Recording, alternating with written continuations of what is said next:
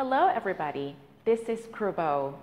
I'm here to give you some techniques to improve your spoken English. สวัสดีค่ะ นี่ครูโบนะคะ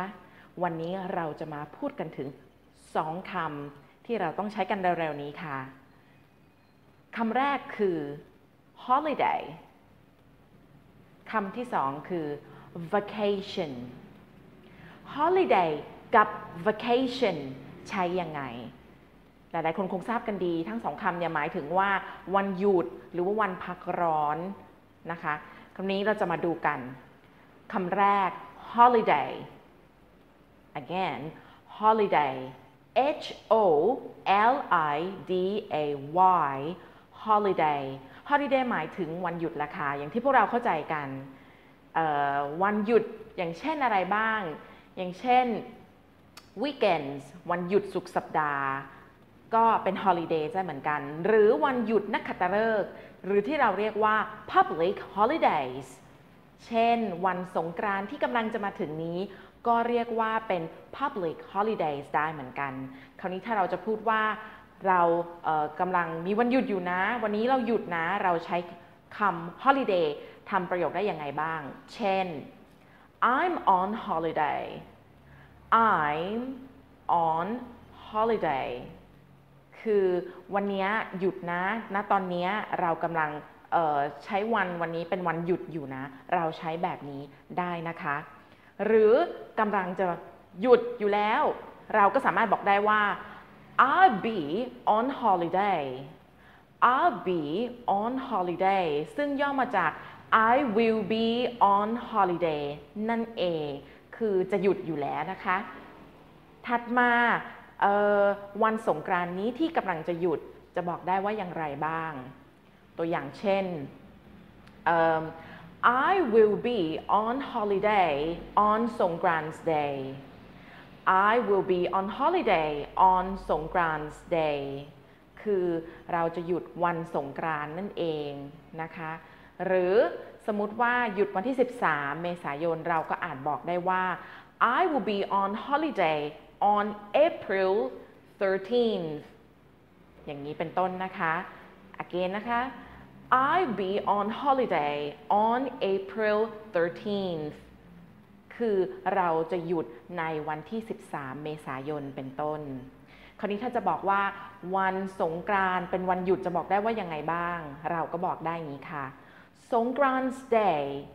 is a holiday in Thailand again Songkran's Day is a holiday in Thailand เดี๋ยวครูพูดเร็วๆให้ฟังอีกครั้งนะคะ ลองฝึกดู Songkran's Day is a holiday in Thailand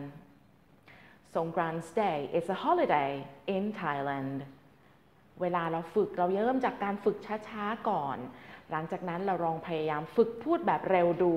การพูดแบบเร็วจะทำให้เรารู้สึกว่าเราออกเสียงได้ง่ายขึ้นด้วยนะคะ แล้วก็สังเกตว่าเราไม่จำเป็นจะต้องออกเสียงเป็นคำคำเป็นพยางชัดๆเจน เพราะฉะนั้นมันจะทำให้เราเนี่ยพูดได้ง่ายขึ้นด้วยเหมือนกันคราวนี้ holiday ทราบไหมคะว่ามันเป็นคำที่ใช้กันบ่อย สำนวนนี้เป็นคำที่ใช้บ่อยในการใช้ของ British English หรือการใช้ ภาษาการใช้คำแบบอังกฤษนั่นเองนะคะคราวนี้พวกเราก็ใช้กันบ่อยๆนั่นแหละ แล้วอีกคำหนึ่งละ vacation vacation เป็นคำที่ใช้กันบ่อยๆ ในสำนวนหรือการพูดแบบ American หรือ American English นั่นเอง คราวนี้ใช้ได้หมายความว่ายังไงก่อน vacation คนไทยจะเข้าใจว่า vacation ครูออกเสียงชัดๆ นะคะ vacation vacation ตัว v ออกเสียงเหมือนพึ่งตีปี vacation vacation อย่างนี้เป็นต้นนะคะ แต่เวลาเวลาเราพูดจริง ๆ เราก็เนียนๆกับมันนิดนึงนะคะ vacation อย่างนี้เป็นต้น vacation ในในคนไทยจะใช้หมายถึงพักร้อน จริง ๆ แล้วหมายถึงอะไรหรอ มันจะหมายถึงวันหยุดก็ได้ค่ะ ส่วนใหญ่จะหมายถึงวันหยุดที่ยาวนิดนึง หรืออีกอย่างหนึ่งคือ เช่น นักศึกษาที่ไม่จำเป็นจะต้องไปที่มหาลัยหรือที่โรงเรียนในช่วงช่วงหนึ่ง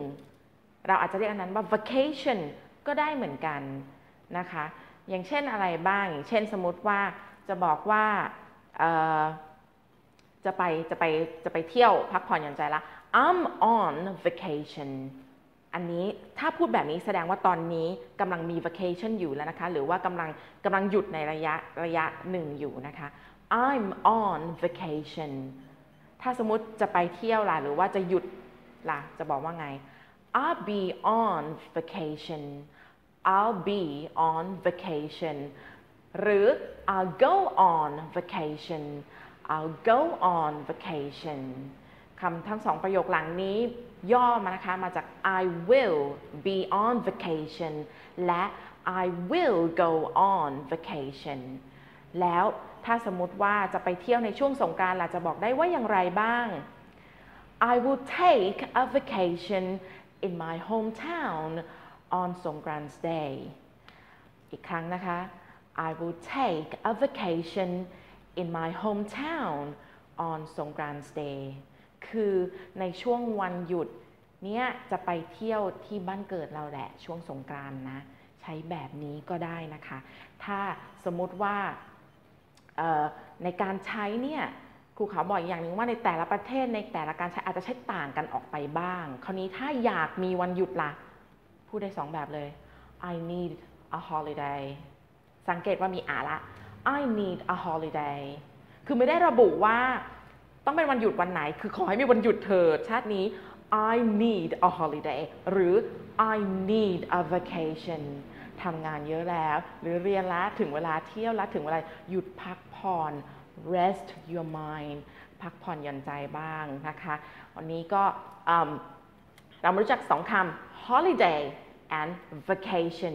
holiday จะเป็นสำนวนการที่ใช้บ่อยหน่อยใน British English และ vacation จะใช้บ่อยหน่อยใน American English ส่วนพวกเราคนไทยอยากใช้แบบไหนลองศึกษาดูสามารถใช้ได้ทั้งสองแบบนะคะ and I will see you next clip